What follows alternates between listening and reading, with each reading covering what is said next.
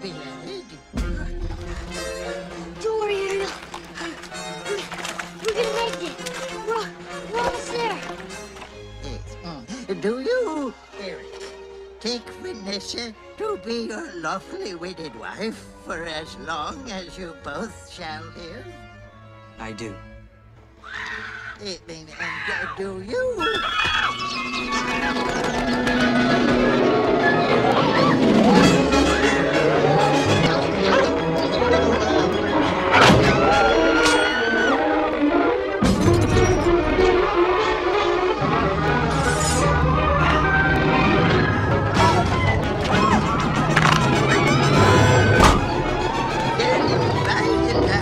Yes.